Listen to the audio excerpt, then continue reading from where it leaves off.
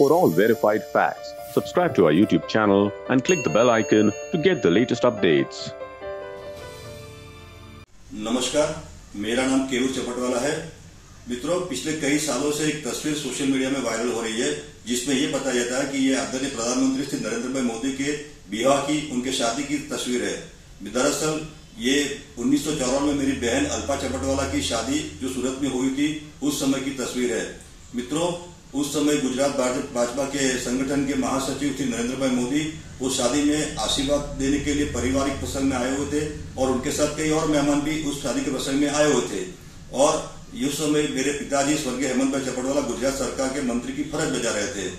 मित्रों, आम आदमी पार्टी, कांग्रेस और अन्य कई विरोध पक्षों के द्वारा आदरणीय प्रधानमंत्री जी की छवि खराब करने के बद इरादे से ऐसी घटिया और नीम स्तर की सोच बनाकर एक शुभ, एक शुद्ध, एक पारिवारिक प्रसंग की तस्वीर को भी गलत तरीके से पेश करके एक गोर पाप करने का काम किया हुआ है।